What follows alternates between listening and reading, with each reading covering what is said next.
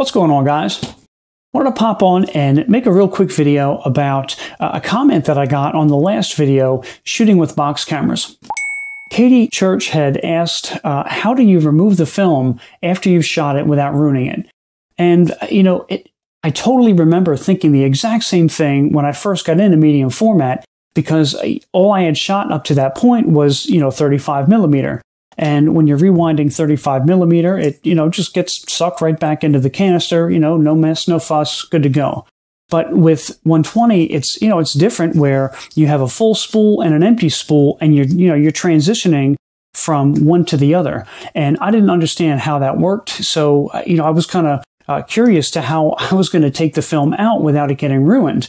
You know, but the key here is that there's a paper backing that pretty much runs along the side of the film. So when it does transfer over from one spool to the other, you have a paper backing that's going to protect this when you take the the, uh, the finished spool out. So that's the, the quick description, but I just wanted to go through and I'll, give you uh, an example here. I'll use the, the box camera that we were talking about last video and just run this through a, a quick cycle and show you exactly what I mean. So let's do that.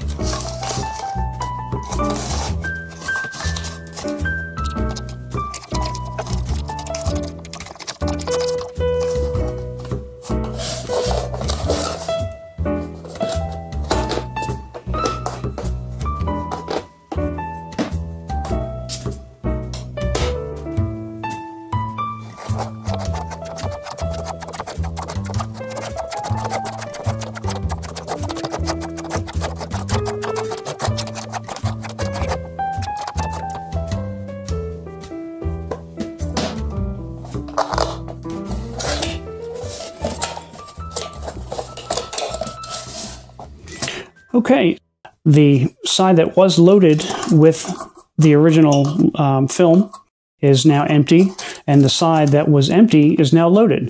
And everything is completely protected with this paper backing, and you now have this little handy dandy flap that says exposed, and you can just wrap that around and uh, send that off for development or you know develop yourself if, if that's what you're doing so so anyway i just wanted to kind of show you guys visually you know what happens here because this was something that I absolutely thought about when I was getting into medium format, and I thought it would be kind of cool to make a video. And uh, for anybody who's not familiar, you can actually see the process and you know not worry that your film is not going to get ruined when you, you pull it out. So, hey, I hope this was helpful, and I hope everybody's well. And until the next one, we'll see you.